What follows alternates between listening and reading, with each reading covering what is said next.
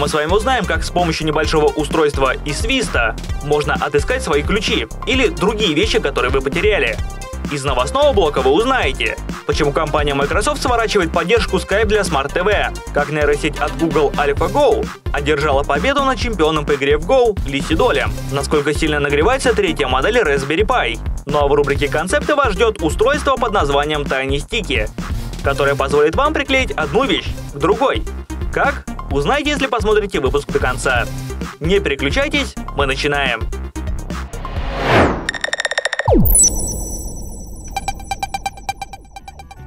На первом месте в списке самых часто теряемых вещей находится пульт от телевизора. На втором – ключи от квартиры. Причем первый найти достаточно легко, потому что он теряется в ограниченном пространстве. А ключи найти порой бывает достаточно тяжело. Мир электроники давно обратил на эту проблему большое внимание, и с недавнего времени в продаже появились вот такие вот штуки. Для чего они? Сейчас покажу. А теперь смотрите.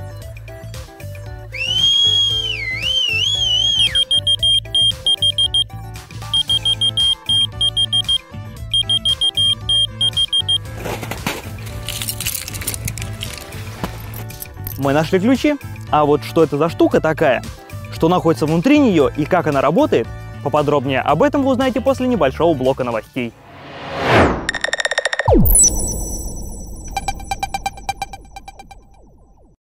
Главной новостью прошедшей недели стала схватка чемпиона по игре в Go Лиси Доля против нейросети от компании Google под названием AlphaGo. Сражение было захватывающим, за ним много кто следил, и программа Gadget в том числе. Нейросеть от компании Google одержала три победы над чемпионом. Как бы ни старался спортсмен, алгоритм был всегда на шаг впереди. Три победы ознаменовали безоговорочную победу машины над человеком. Это доказало, что нейросети способны на многое. После такого Google заявила, что уже знает, для чего будет готовить свою разработку. Как вам такое? Сражение против знаменитых игроков StarCraft. Вот уж где будет задор и ожесточенная схватка. Уверен, что за таким действом наблюдающих будет в разы больше, чем за партией в Go.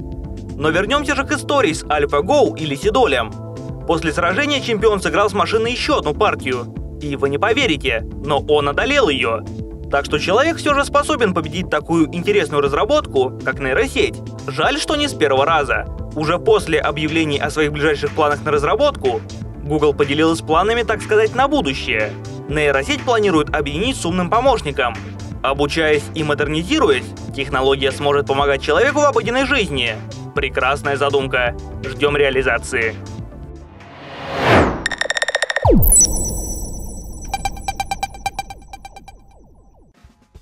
Неприятные новости для тех, кто еще до выхода Raspberry Pi 3 решил, что непременно должен ее приобрести. Печально, но чем новее модель малинки, тем сильнее она греется.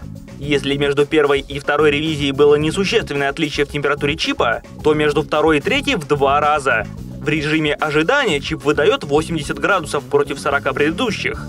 Огорчает то, что в принципе при 80 градусах работать можно было бы, если бы это не была критическая температура чипа.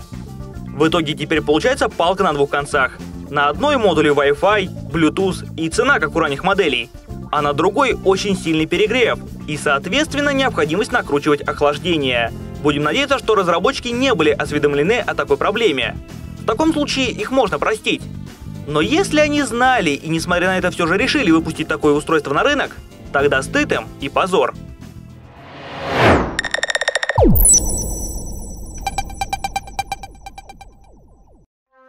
В то время, когда различные компании тестируют на дорогах Америки машины с автопилотами, Ford решила пойти немного иным путем. В компании просекли, что гонку технологий они уже проиграли. Но ведь только в основной. За вспомогательные механизмы пока что еще никто не брался. В частности, в компании задались вопросом, а что будет делать человек во время езды? И ответ моментально пришел в головы инженеров Ford. Смотреть фильмы, играть и сидеть в интернете. Поэтому первым делом идею решили застолбить с помощью патента на всякий пожарный. А то вдруг кто-то потом из тех, кто в данный момент занимается разработкой автопилота, решит прикрутить в автомобиль средства развлечения. Вот тут они и столкнутся с компанией Ford. Теперь немного о патенте. Устройство, которое предлагают инженеры Ford, отчасти похоже на проектор. Соответственно, оно выполняет все те же функции, о которых вы и подумали. Показывает все, что душа пожелает, фильмы, клипы, играет музыку, показывает картинки, позволяет серфить интернет и играть. В общем, всем разработка хороша. Теперь по дороге на работу можно будет смотреть смешные видео с котиками на YouTube. Это ли не будущее, которого мы все так ждем?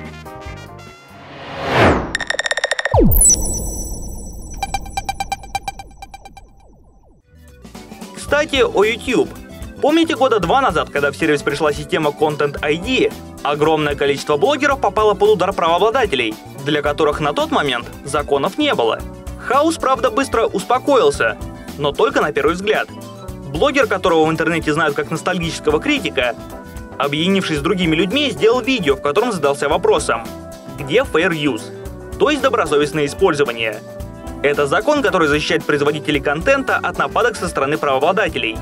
Согласно Fair Use, вы имеете право использовать материалы, принадлежащие другим, если создаете из них развлекательные, либо обучающие материалы.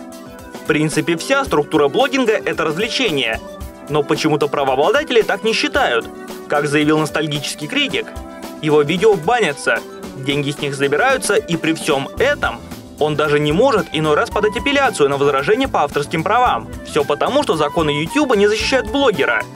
После видеообращения ностальгического критика и других знаменитостей к руководству YouTube, дело наконец-то сдвинулось с мертвой точки.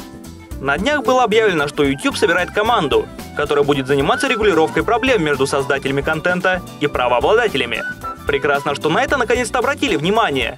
Вот только, к сожалению, многие все равно относятся к задумке скептически и верят, что ничего ровным счетом не изменится.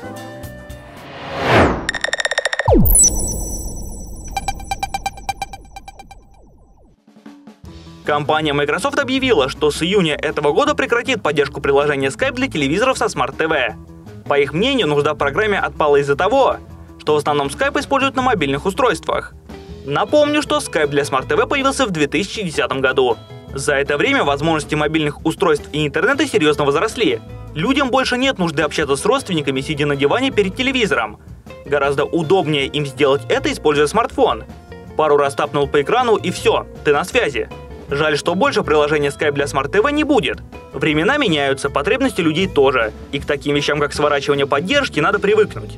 Хотя мне, например, перспектива использования Skype для общения на Smart TV нравится больше, чем на смартфоне. В общем, ждем июня, а затем устраиваем прощание по скайпу для Smart TV.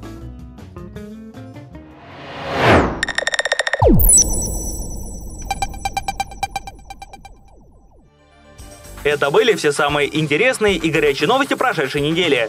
Если вы хотите всегда быть в курсе всего самого классного из мира гаджетов, то подписывайтесь на инстаграм-аккаунт программы гаджет нижнее подчеркивание ЮТВ.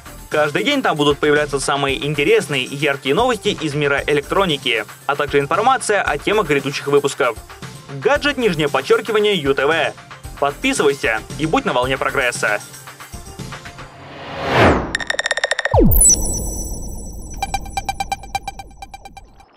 Думаю, у каждого из вас, уважаемые зрители, рано или поздно случалась ситуация, при которой вы теряли ключи и не могли их найти довольно долгое время. Хотя при этом они лежали, скорее всего, в одной комнате вместе с вами. Из такой ситуации каждый человек выходил со своим решением. Кто-то привязывал телефоны к ключам, например. А некоторые просто их держали на привязи так, чтобы в любом случае они не могли бы от вас улететь, например. Но в последнее время появилось довольно-таки простое решение, которое очень часто можно встретить на а, кассах крупных а, магазинов электроники. Они есть и у нас в Уфе, и продают они там вот такие вот небольшие штучки. А, думаю, без объяснений уже понятно, что это за штука и для чего она нужна. Это Keyfinder. А, брелок, который при воздействии звука на него начинает пищать. Причем очень долго и яростно, что позволит вам в любом случае найти потерянную вещь. Я не говорю, что его можно использовать исключительно для ключей. Его можно использовать и для других вещей, например, повесить его на пульт телевизора, который вечно куда-то пропадает. Или, например, на автомобильные ключи, или, например, на пропуск э, на ваше рабочее место. Э, вариаций использования у этого устройства великое множество. Как я люблю говорить, все зависит только от вашей фантазии. Но в данном случае мы будем тестировать это устройство с ключами. Это мои собственные ключи, их, как видите, здесь очень много, и их потеря для меня стала бы сильным потрясением, потому что бегать и восстанавливать их я бы вряд ли бы смог. Их очень много.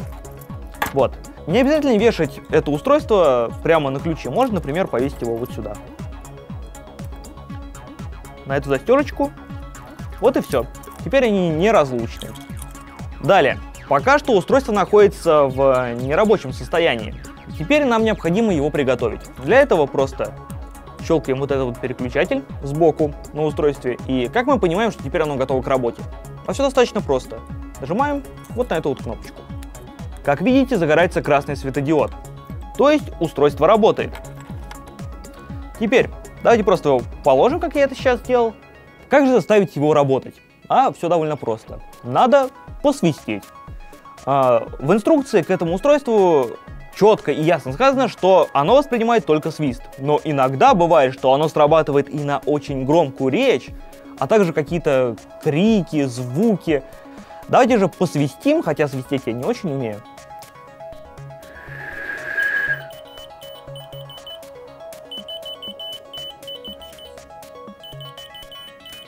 Давайте еще раз, чтобы стало предельно ясно, как это все работает. Видите, оно не всегда срабатывает.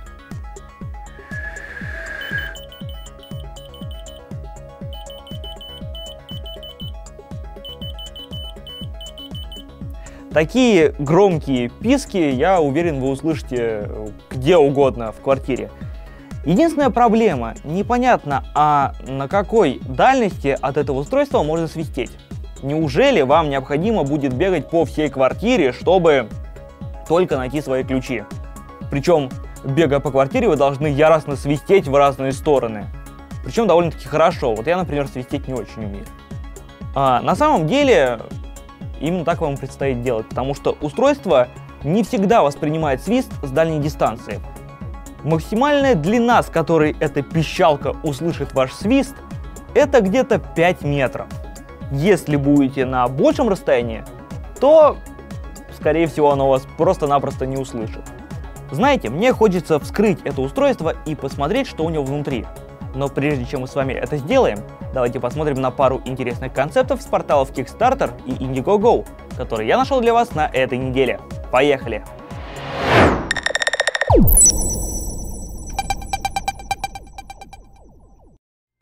Сейчас тяжело представить машину без телефона в ней.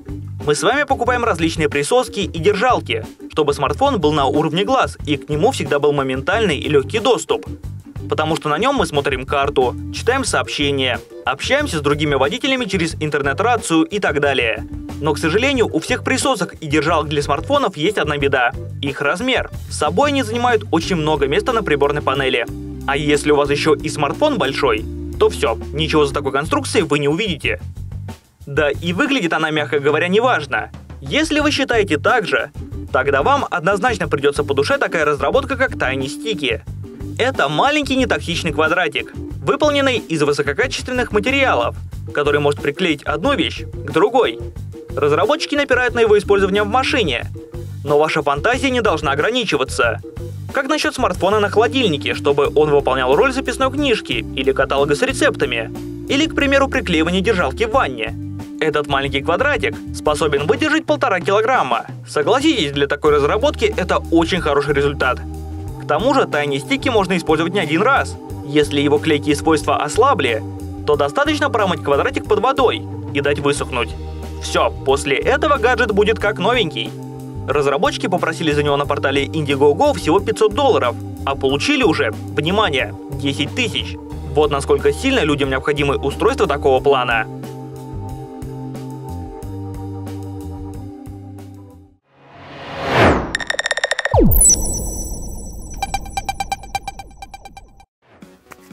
Ну что, давайте разбирать. Для этого у меня есть вот такая вот отверточка со сменными насадками. У нас здесь э, крестовые винтики. Находим нужный биток. Все остальное нам не надо. Приступаем к раскрутке. Отворачиваются они довольно-таки легко. Ну вот и все. Момент истины. Оу. Я, если честно, ожидал увидеть немножко больше, чем вот это вот. Здесь отчетливо видны две батареечки, компаунд. Скорее всего, здесь может быть транзистор, либо микросхемка.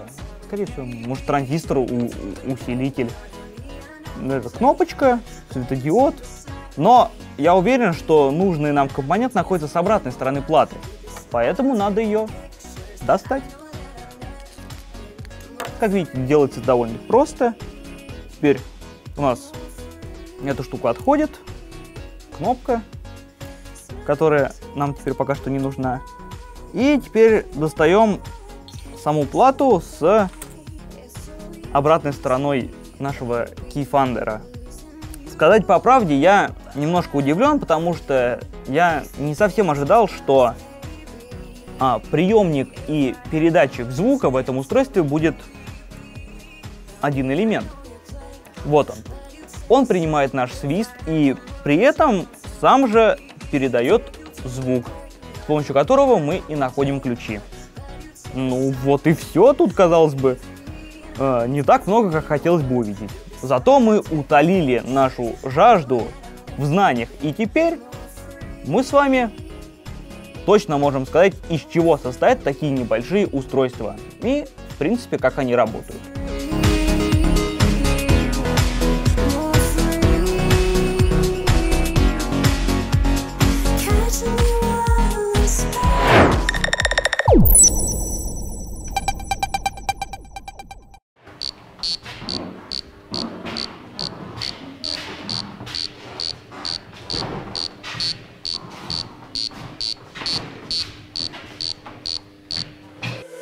Уфимском НИИ глазных болезней представили прототип электроповодыря для слабовидящих. Устройство, как нетрудно догадаться, служит для облегчения жизни людям, которые по разным жизненным обстоятельствам не могут полноценно видеть этот мир.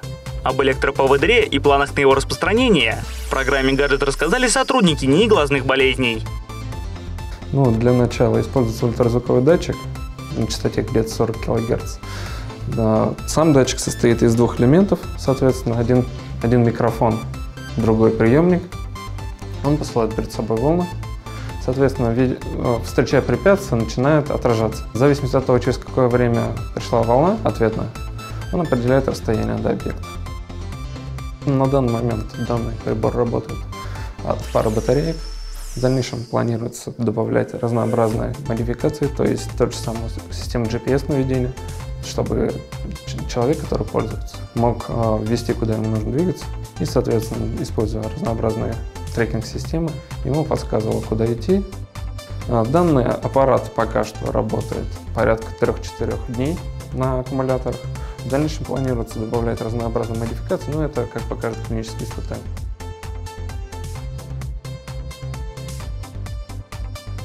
Сейчас мы на стадии э, изготовления, так скажем, доработки, во-первых, э, то есть дизайна технических параметров. Когда мы закончим с доработками, уже э, будем заниматься выпуском э, серийного производства. Вариантов для реализации массы, начиная от розничной торговли до, до привлечения различных фондов поддержки слепых, то есть через фонды медицинского страхования.